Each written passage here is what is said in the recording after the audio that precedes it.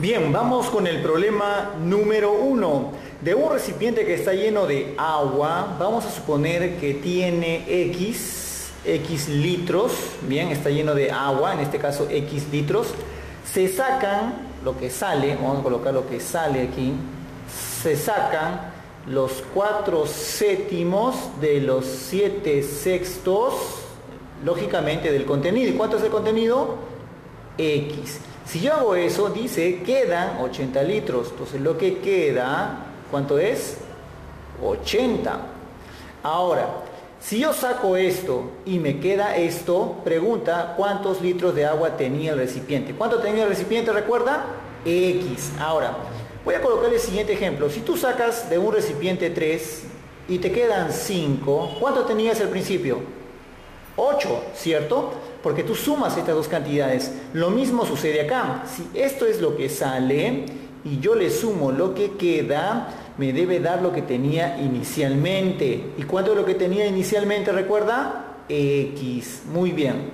Simplificando, aquí me daría cuánto? 2 tercios. Bien, X menos 2 tercios que pasa a restar, me daría cuánto? X tercios, donde X vendría a ser igual a 240. Por lo tanto, ¿cuántos litros de agua tenía el recipiente? Alternativa B.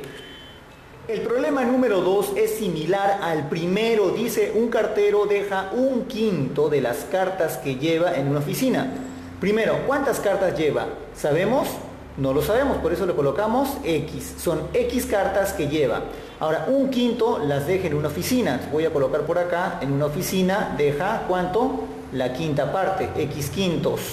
Luego, los tres octavos en un banco. Entonces, en un banco deja los tres octavos. Bien, tres octavos de las cartas.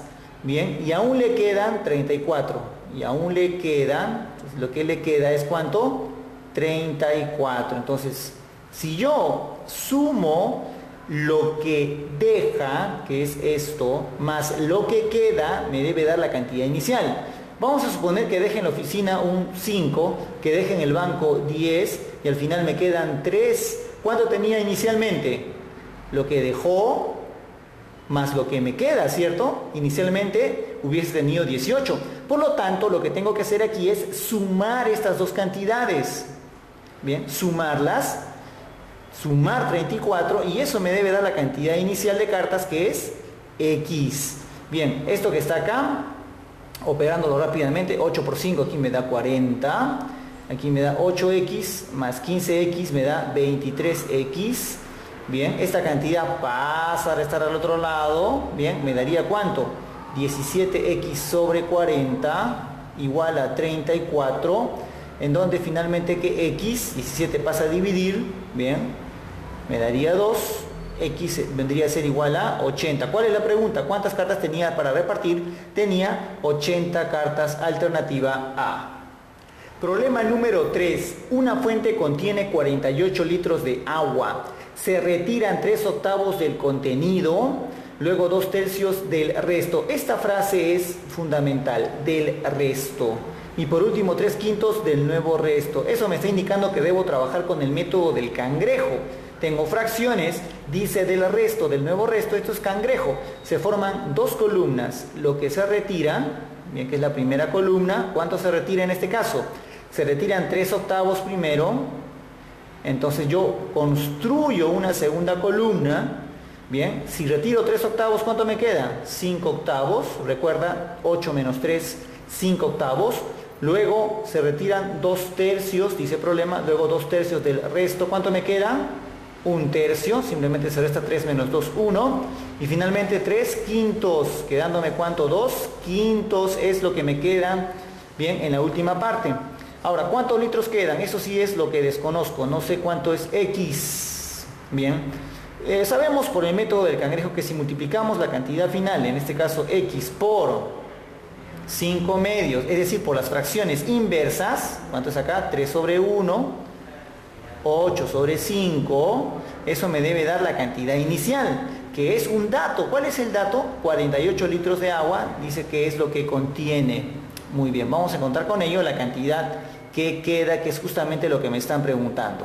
Vamos a simplificar, cuarta 1, eh, perdón, mitad 1, mitad 4, 4 por 3, 12, pasa a dividir 4. Entonces, ¿cuántos litros quedan? Quedan tan solo 4 litros. Bien, vamos con los siguientes problemas.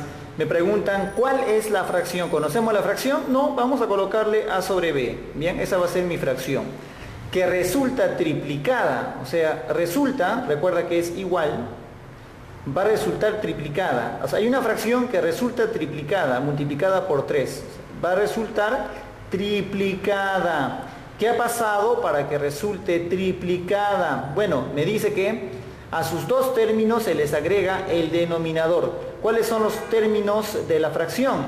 Recuerda, numerador, denominador. Entonces va a resultar triplicada cuando a sus dos términos, o sea A y B, se les agrega, se les suma el denominador, que en este caso es B, es lo que me plantea el problema.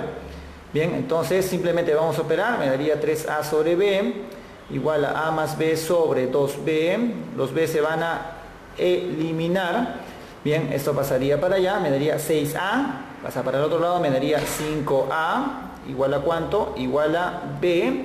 Como estamos buscando la fracción A sobre B, lo único que hacemos es A sobre B igual a, ¿cuánto queda aquí? ¿Qué número acompaña al B? No aparece, pero sabemos que es 1, me daría 1 sobre 5. Por lo tanto, la fracción que estábamos buscando es la alternativa B, un quinto. Bien, comencemos con el problema número 5. El problema menciona disminuyendo. ¿Qué es disminuyendo? Disminuyendo es restando, ¿cierto? ¿Restando qué? Una misma cantidad. Vamos a restar una cantidad. ¿Cuál es esa cantidad? Vamos a colocarle una cantidad A. ¿Por qué no X, profesor? Porque más abajo, te das cuenta, nos están dando la variable X, tenemos que utilizar otra variable, en este caso la variable A. Disminuyendo una misma cantidad, ¿a qué le vamos a disminuir esa cantidad? a los dos términos de una fracción xy. Muy bien, recapitulando, disminuyendo, restando una misma cantidad, la cantidad a, a los dos términos de la fracción xy. Por lo tanto, yo tengo la fracción xy, bien, tengo la fracción xy, y le voy a restar una misma cantidad a los dos términos de la fracción xy. Dice, se obtiene, o sea, resulta la fracción original, que es esta que está acá, pero invertida, o sea, me daría y sobre x. Muy bien. Pregunta, ¿cuál es aquella cantidad? Tengo que determinar el valor de, el valor de a. Simplemente operamos, me daría cuánto aquí, x al cuadrado menos ax igual a y al cuadrado menos ay. Pasamos los a's para un lado, me daría ax menos ay. Pasamos el y cuadrado para el otro, x cuadrado menos y cuadrado. Lo que sucede es que tenemos acá una diferencia de cuadrados, que es igual a x menos y por x más y. Igual a, podemos factorizar el a, me daría x más y, perdón, x menos y. Muy bien, ¿dónde podemos simplificar? Quedándome que a es igual a x más y. Esta sería la cantidad que estamos buscando, porque la pregunta es, ¿cuál es aquella cantidad? ¿Qué cantidad? disminuyendo una misma cantidad, o sea, A. A vale X más Y. Vamos con el problema número 6. Mencionan que los dos tercios de los miembros de un club son mujeres. Entonces, vamos a asumir que los miembros de un club son X, no los conocemos a los miembros. Son mujeres, los dos tercios. Entonces, las mujeres son en este caso dos tercios de los miembros de un club. Por lo tanto, los varones, bien, los varones, los hombres serían, por complemento, la tercera parte. Bien, un cuarto de los hombres, o sea, de los varones, un cuarto están casados. Entonces vamos a determinar esto. Un cuarto son los, un cuarto de cuánto? De un tercio de X son los que están casados. Bien, mientras, dice el problema, que hay nueve hombres solteros. A ver, si un cuarto está casado, por lo tanto, tres cuartos, bien, es el complemento, tres cuartos de cuánto? De un tercio de X, bien, serían los solteros. Muy bien, pero eso, dice el problema, que es, igual a 9, porque hay nueve hombres solteros, por lo tanto, esta cantidad es igual a 9, bien.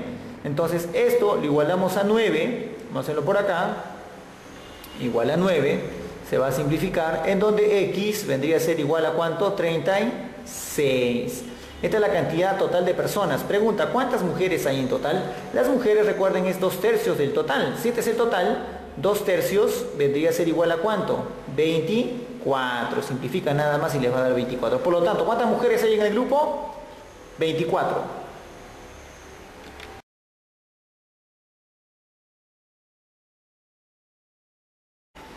En el problema número 7 mencionan lo siguiente, en un barco donde iban 100 personas, ¿bien? En total son 100. Ocurre un naufragio. De los sobrevivientes, bueno, de este total va a haber un grupo que va a sobrevivir, ¿no? De los sobrevivientes. Pregunta, ¿cuántos sobreviven? ¿Sabemos? No, vamos a colocarle X.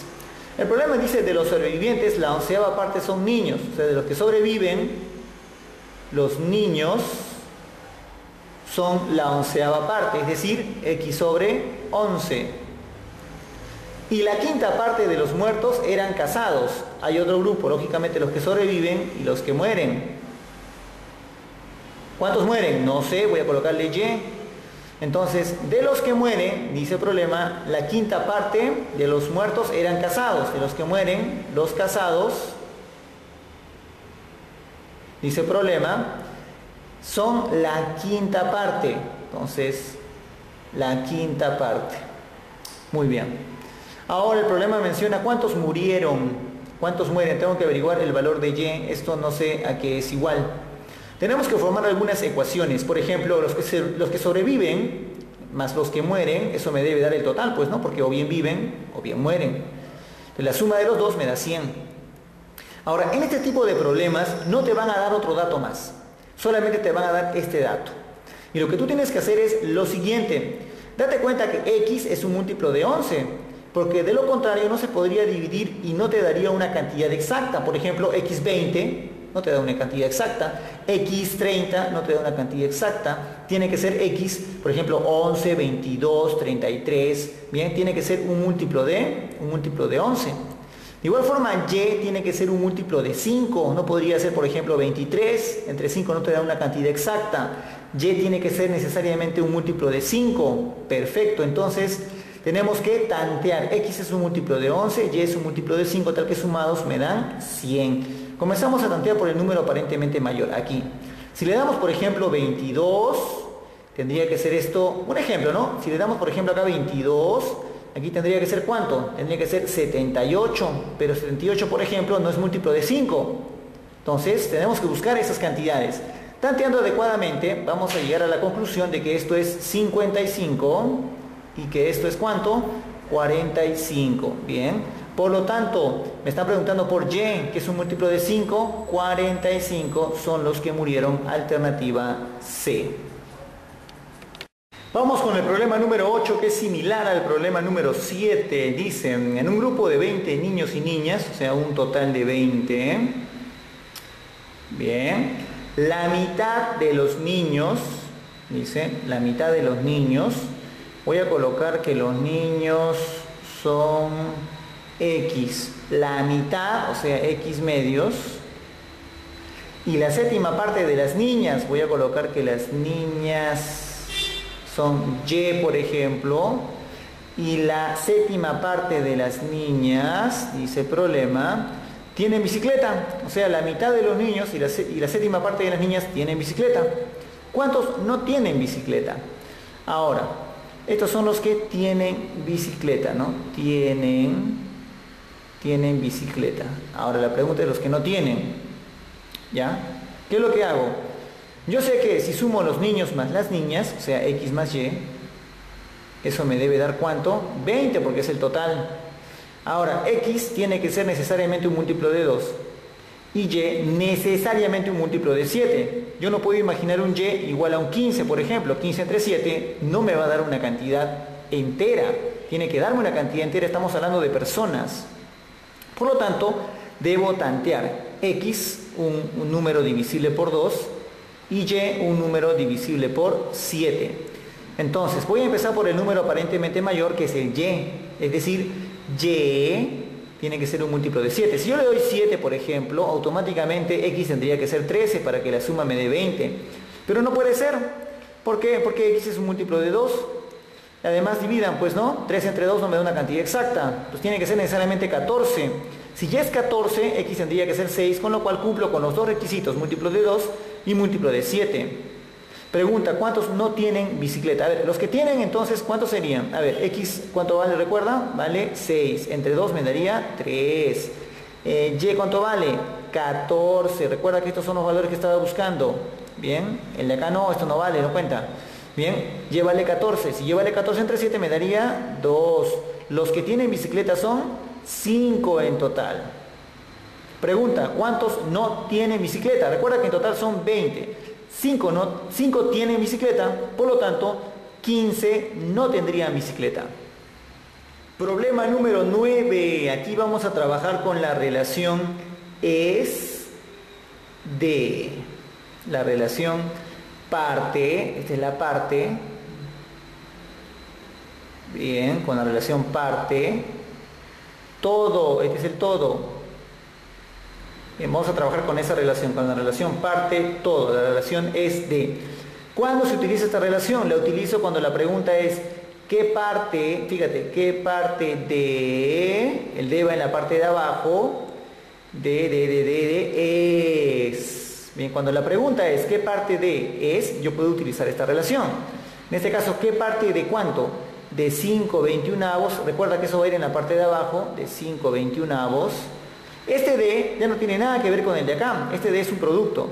¿Qué parte de 5 21avos, de 7 novenos, de 63 es, eso va a ir en la parte de arriba, los 6 treceavos, mención del problema, de los 5 octavos, muy bien, de 52, ya está, vamos a operar, ¿bien?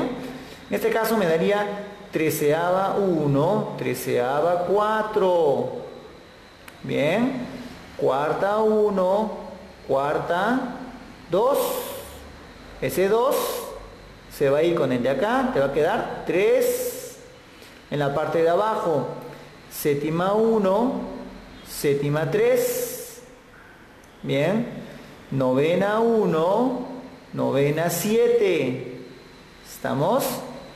Muy bien, entonces me quedaría, si yo aplico extremos medios, bien, si aplico extremos medios, la expresión quedaría de la siguiente forma. Recuerda que arriba tengo 3 y 5, y en el medio tengo 5 y 7. Puedo simplificar este extremo con este medio, no hay ningún problema. Bien, es más, puedo simplificar, ¿qué más? 3 eh, con 3, no, porque los dos son extremos. Abajo tengo 7 nada más, me quedaría 9 arriba, 7 abajo. 9 séptimos es la respuesta.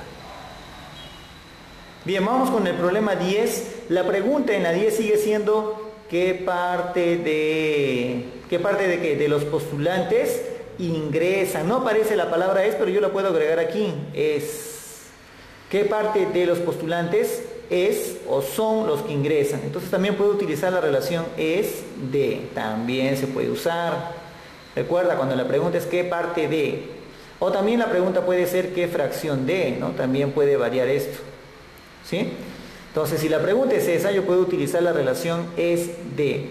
Ahora, la pregunta dice, ¿qué parte de los postulantes? Entonces, abajo van a ir los postulantes son los que ingresan, arriba van a ir los que ingresan. ¿Y cuántos son esas cantidades? Bueno, está en el dato inicial. El problema dice, de un grupo de postulantes ingresan a la universidad tres cuartos de los que no ingresan. Este jueguito de palabras, ingresan tres cuartos de los que no ingresan, es algo que vamos a ver de aquí en adelante. Bien, entonces, ¿cómo sería esto? Un grupo ingresa y otro grupo no ingresa. ¿Ingresan cuántos? Ingresan tres cuartos de los que no ingresan. Dice el problema, ingresan, ingresan tres cuartos, tres cuartos de qué? De los que no ingresan, por eso lo coloco debajo de los que no ingresan. En total, ¿cuánto me daría? Siete. Entre los que ingresan y no ingresan, total son siete. Algunos pues eh, lo lograron y otros no. Pregunta, ¿qué parte de, eso va a ir abajo, los postulantes? ¿Cuántos son los postulantes? Siete. Indistintamente si ingresan o no, son siete son los que ingresan. ¿Cuántos ingresan? Tres. Por lo tanto, la respuesta es tres séptimos, nada más. Alternativa B. Pregunta 11, problema 11. La pregunta sigue siendo, ¿qué parte de otra vez de lo que ya transcurrió representa? Esto equivale a la palabrita es. ¿Sí? Es lo mismo. ¿Qué parte de es o representa? Da lo mismo. Entonces, como la pregunta es qué parte de, voy a escribir la relación es de. Muy bien, ahí está mi relación es de. Donde el de va en la parte de abajo qué parte de lo que transcurrió, abajo lo que transcurrió, representa, eso va a ir arriba, muy bien. Pero ¿qué es lo que va arriba y qué es lo que va abajo? Ese es el dato, dice, transcurrió tres quintos de lo que falta transcurrir. Entonces voy a colocar una recta, bien, voy a colocar ahí lo que transcurrió o lo que no transcurrió.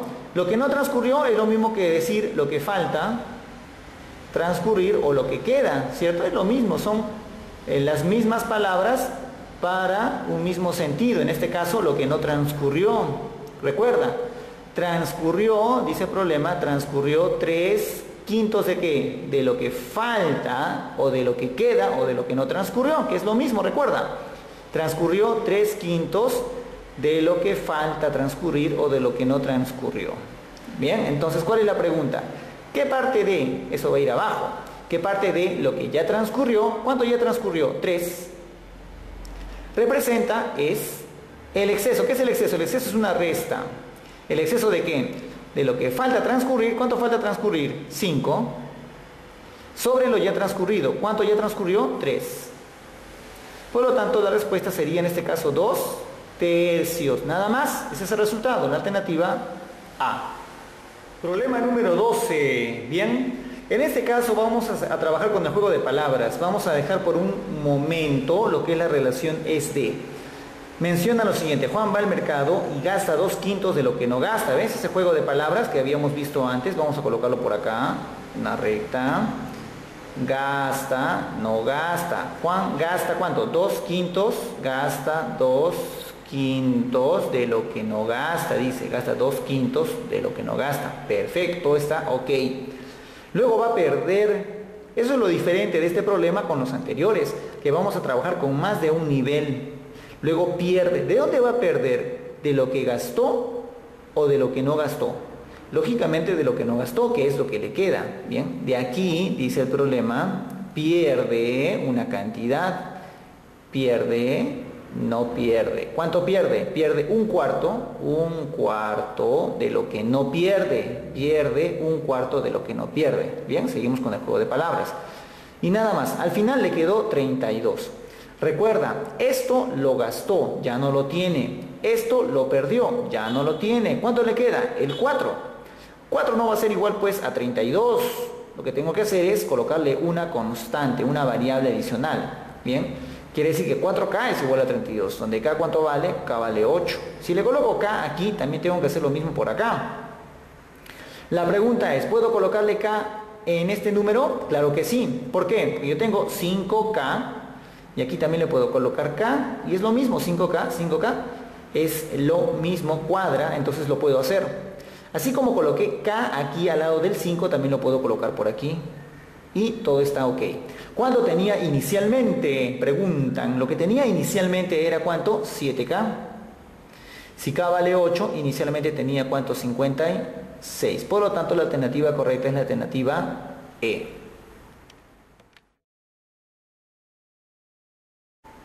Vamos con el problema 13 en el cual vamos a seguir con ese juego de palabras. Por ejemplo, gasté los dos quintos de lo que no gasté. Vamos a colocar una recta, a ver, por aquí, muy bien. En este caso gasté, no gasté. ¿Cuánto gasté? Dos quintos de lo que no gasté. Luego regalé dos tercios de lo que no regalé. ¿De dónde voy a regalar? Lo que gasté ya no lo tengo. Lógicamente lo que me queda que es 5. De aquí voy a regalar una cantidad. Regalé y no regalé. ¿Cuánto regalé? Dos tercios de lo que no regalé regalé dos tercios de lo que no regalé. Y presté, ¿de dónde voy a prestar? Recuerda que esto lo regalé, ya no lo tengo. Voy a prestar de lo que no regalé, que es esta cantidad. Bien, entonces lo que presto y lo que no presto. ¿Cuánto presto? Dice, luego presté el doble de lo que no presté. O sea, esto es el doble de lo que no presté. ¿Cuánto no presté? Voy a colocarle 1 y aquí le voy a colocar 2. ¿Este es el doble de esto? Sí. Ahora, mencionan cuánto tenía al principio si la tercera parte de lo que le quedó al final es igual a 10. Tengo que averiguar lo que tenía inicialmente, que es esto. Bien, esto no sé cuánto es. Si es que la tercera parte de lo que le quedó al final, ¿cuánto le quedó al final? Esto lo gastó, no lo tiene. Esto lo regaló, no lo tiene. Esto lo prestó, tampoco lo tiene. ¿Qué le queda? Le queda 1. Le voy a colocar un K. Dice problema, si la tercera parte de lo que le quedó al final, o sea, la tercera parte es esto entre 3, la tercera parte de lo que le quedó al final es igual a 10. Por lo tanto, K cuánto sería? K sería 30. Muy bien, K vale 30. Ahora vamos subiendo. Si le puse K, también puedo colocarle K aquí. ¿Cuánto suma? 3K. ¿Da lo mismo? Sí, perfecto puedo colocarle K aquí, tengo que hacerlo, me da 5K. ¿Me da lo mismo? Sí, perfecto. Acá también le coloco K. Entonces aquí cuánto me daría? Esta cantidad que estoy buscando es 7K. Pero como K vale 30, esto me daría 210. Alternativa correcta, C. Vamos con el problema número 14. Menciona que de un depósito que está lleno un quinto de lo que no está lleno. Nuevamente, otra vez, profesor, pero ya lo sabemos hacer. Muy bien. Este es diferente, tiene algo diferente, presta atención. Está lleno un quinto de lo que no está lleno. Entonces voy a colocarlo, bueno, no corresponde tal vez la proporción, pero para efectos del problema lo voy a hacer de esta manera. Está lleno un quinto de lo que no está lleno. Luego se extrae. ¿De dónde voy a extraer? ¿De 1 o de 5? Voy a extraer, así es, tienes razón, voy a extraer de 1, porque esto está lleno. Bien, esto no está lleno, esto no, tiene nada. Voy a extraer de lo que hay, en este caso de 1. ¿Cuánto voy a extraer? Un sexto. De acá voy a extraer cuánto, dice el problema. Se extrae y no se extrae. Se extrae un sexto de lo que no se extrae. ¿Bien? Ya está. Se extrae un sexto de lo que no se extrae. Pregunta.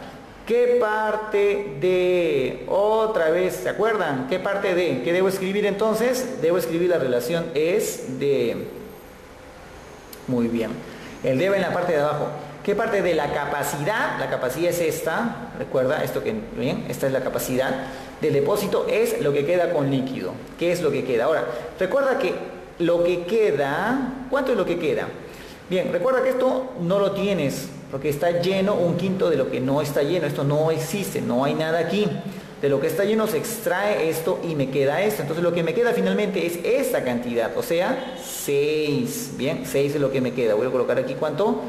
Eh, a ver, ¿qué parte de la capacidad? La capacidad es esta. Ahora, esto es lo que queda del depósito, quedará con líquido. Yo puedo agregarle lo siguiente, ¿qué parte del depósito es? Aquí le puedo agregar es lo que queda con líquido. El es va en la parte de arriba. Bien, lo que queda con líquido es esto, habíamos quedado, lo voy a colocar K. Entonces aquí me daría 6K. Si yo lo coloco 6K, aquí también debe ir un K. Ahora, ¿yo lo puedo colocar K aquí directamente? No. ¿Por qué? Porque 7K no es igual a, no es igual pues a, K. Por lo tanto, lo que tendría que hacer era, eh, en este caso es transformar este 1 en 7. Para ello debo multiplicar esto por 7. Lo multiplico por 7. Pero también debo hacer lo mismo con esta cantidad. Me daría 35. Ahora sí le puedo colocar K y aquí también K. Muy bien. Finalmente lo que me queda es qué parte de la capacidad del depósito. La capacidad del depósito es esta. O sea, 42K. Es lo que queda con líquido. Eso va en la parte de arriba. Muy bien. Y eso, simplificando los K, me daría en mitad y mitad un séptimo. Muy bien. Alternativa E. Vamos con el problema número 15. Este es un problema tipo, bien, este es un problema tipo que tiene que ver con la compra y con la venta. Dice, se compraron libros a razón de 3 libros por 25. Ese es el costo, lo que me costó, porque yo estoy comprando. ¿Cuál fue mi costo? 3 libros por 25. Entonces, el costo de cada libro, ¿cuánto sería? 3 libros te costaron 25. ¿Cuánto te costó uno? Bueno, sería 25 entre 3. No es necesario que encuentres la cantidad exacta. Mi costo total sería 25 sobre 3, lo que cuesta un libro por la cantidad de libros que desconozco. Vamos a colocarle X. Pero la venta se realizó de la siguiente forma. Se vende, dice, a razón de 11 por 100. Entonces, cada libro, ¿cuánto me costó? cada libro me costó 100 sobre 100 sobre 11. Bien, 100 sobre 11. X, la cantidad de libros, esta es la venta total, menos el costo total me daría la ganancia total. En este caso me daría aquí 33, aquí me da 300, 600, 275 menos 300 me daría 25 sobre 33 por X. Ahora, el problema dice que la ganancia fue de cuánto? De 675, entonces esto es 675 en donde finalmente la cantidad de libros es 25 a 1, 25 a 27, 33 por 27 me daría 891, por lo tanto, ¿cuántos libros se vendieron? 891, alternativa D. Bien, vamos con una secuencia de problemas referidos a este criterio muy utilizado en lo que es fracciones. Bien, en este caso em, me dan tiempos individuales, y por ejemplo, me dicen, Juan puede hacer una obra en, 10 días, Beto lo puede hacer en 15 días, eh, Carlos lo puede hacer en 20 días y trabajan los tres juntos, ¿en cuánto tiempo lo harán? El tiempo colectivo, o sea, en cuánto tiempo lo harán, es precisamente T. P es el trabajo que deben hacer, una obra, llenar algo, construir algo, no lo sé. Para nuestro caso menciona lo siguiente, A puede hacer una obra en 21 días. Vamos a reemplazar los datos, ¿bien? Más o menos sería así, una obra. La pregunta es, ¿qué tiempo necesitarán para hacer dicha obra si trabajan juntos? Entonces no sé el tiempo colectivo, pero sé que A lo hace en 21 días, ahí está. Además sé que B se demora 28 días, ahí está. Bien. Eh, si trabajan juntos, ¿Cuánto tiempo necesitarán para hacer la obra? Es de resolución directa. Aquí me daría 84, mínimo común. 84 entre 21 me da 4, 84 entre 28 me da 3, 3 más 4 me da 7, 1 sobre t. En donde t vendría a ser 84 sobre 7, eso me da 12. Por lo tanto, ¿qué tiempo necesitarán para hacer la obra? Bueno, ya lo sabemos, 12. Vamos con el problema número 18. Bien, vamos a utilizar el mismo criterio. ¿Por qué? Dice, se tiene un tanque con tres llaves. La primera llave lo llena en 6, la segunda en 4, la tercera que es un desagüe lo vacía en 8. Si se abren las tres a la vez, ¿en cuánto tiempo llenarán el tanque? Entonces se, trata de llenar un tanque, un tanque. ¿En cuánto tiempo lo harán los tres? No lo sé. Uno lo llena, dice, en 6. El otro lo llena en 4 y un tercero dice lo vacía en 8. Recuerda, lo vacía en 8. Por eso va con signo negativo, porque lo vacía, lo quita. Bien, quita todo lo que ya los anteriores colocaron. Muy bien, entonces, ah, ¿cuánto me daría aquí? 24. Si es 24 entre 6 me daría a 4. 24 entre 4 me daría a 6, más 4 me da 10. 24 entre 8 me da 3. 10 menos 3 eh, me daría 7. Muy bien, 1 sobre t. Por lo tanto, el tiempo en este caso es 24 sobre 7, lo cual lo tenemos en la alternativa, en la alternativa A. Pero un momento, muchas veces en los problemas no te lo van a dar así, sino te lo van a dar expresado como una fracción mixta. Es decir, divides 24 entre 7, te da 3, sobrando 3. Entonces esto sería más o menos así. 3, bien, 3 sobre 7, ¿no? Puede, lo más probable es que te aparezca expresado de esta manera, ¿no? 3, 3 sobre 7, que es precisamente 24 sobre 7. Solamente una aclaración adicional a este problema. Vamos con el siguiente. Vamos con el problema número 17, ¿bien? Ahora, dice A es el triple de rápido que B y el doble de lento que C. Si juntos pueden hacer una hora en 18, ¿cuánto tiempo lo haría C solo? Ahora, hablamos de tiempo individual y tiempo colectivo, pero hay un detalle en este problema muy importante. Bueno, lo primero es que tienen que hacer una obra, me dan el tiempo colectivo, juntos lo pueden hacer en 18 días, me, me dan el tiempo colectivo, ¿bien? Pero hay un detalle aquí, ¿y cuál es ese detalle? Fíjate, te mencionan que A es el triple de rápido que B. Yo tendería a hacer lo siguiente. Si me dicen que A es el triple de rápido que B, pues yo tendería a hacer lo siguiente. X por acá y 3X por aquí. ¿Bien? ¿Por qué? Porque el problema dice que A es el triple de rápido que B, entonces lo hacemos así. O por lo menos es eh, lo directo, es lo inmediato. Pero está bien, Veamos, esto no está bien. Vamos a darle un valor a x. Por ejemplo, si x es 6, ¿esto cuánto sería? 18. Por lo tanto, ¿quién es más rápido aquí? ¿A o B? B, porque se demora 6, en cambio A se demora 18. A es más lento, es el triple de lento que B. Pero el problema no dice eso, el problema dice A es el triple de rápido que B. Pero si lo hemos colocado de esa forma, ¿cuál es el problema?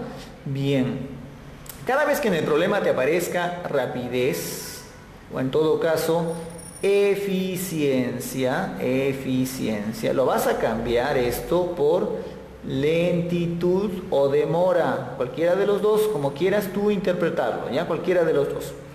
Bien, por eso es esta forma en la cual estamos, eh, hemos trabajado aquí no es la correcta. Bien, esto de aquí no debe ser así. Vamos a volver a plantearlo. Ya tenemos 1 sobre 18, de esta manera, igual a cuánto.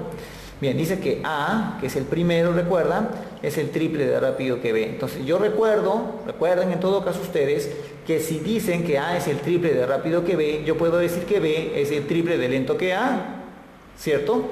Si B es el triple de lento que A, entonces aquí es X y aquí sería 3X. Bien, ¿y qué pasa con C? C, que tendría que ser el tercero, mencionan que A es el triple de rápido que B y es el doble de lento que C. A es el doble de lento que C. Ahora sí me hablan de lentitud, así que está bien, hablan de lentitud, no debo hacer ningún cambio, está bien. A es el doble de lento que C. Si C es X, A es el doble de lento, pero recuerden, B era tres veces A, por lo tanto esto debe cambiar por 6, así es, muy bien. Entonces, ¿cuánto me daría esto? Mínimo común. ¿Cuánto me da acá? 6x. 6x entre 2 me da a 3. Aquí me da a 1 más 3, 4. ¿Cuánto me daría acá? Eh, entre 6, eh, entre x me da 6. 6 más 4 me daría 10. Muy bien, entonces esto me da 1 sobre 18. Finalmente, puedo simplificar sexta 1, sexta 3. Por lo tanto, el x vendría a ser igual a 30. ¿Cuál es la pregunta? ¿En cuánto tiempo la haría la obra C solo? C recuerda se demora X y X vale 30, por lo tanto la alternativa correcta es la E. Terminemos con el problema número 20. Me indican que para unir dos pueblos, vamos a colocar un pueblo A y un pueblo B, se construye un camino. Bueno, hay un camino entre los dos, ya está. Los dos quintos ya están terminados. Vamos a asumir que esto está terminado y eso es dos quintos según el problema. Dos quintos del total del camino está terminado. El resto, o sea, esto que queda, ¿cuánto es lo que queda? Si ya hemos hecho dos quintos, así es, tú lo has dicho, tres quintos es lo que queda, lo que falta. Bien, esto, el resto lo hacen dos contratistas, o sea, esta parte de aquí lo vamos a dividir en dos bloques. Bien, vamos a ir en dos partes. Bien. Em, mencionan que 1 hace 5 novenos. O sea, vamos a suponer que esta parte de aquí es 5 novenos. ¿ya? Es 5 novenos de esta cantidad. Por lo tanto, si es 5 novenos, ¿cuánto sería la otra parte? Así es, 4 novenos, ¿cierto? Sería 4, 4 novenos de cuánto? De 3 quintos de X. Muy bien. Bien, entonces uno hace los 5 novenos, ahí está, por lo tanto se deduce que el otro hace los 4 novenos del total y esto es igual a 12, ahí me indica el problema, dice uno hace 5 novenos y el otro los 12 kilómetros restantes, quiere decir que esto es igual a 12.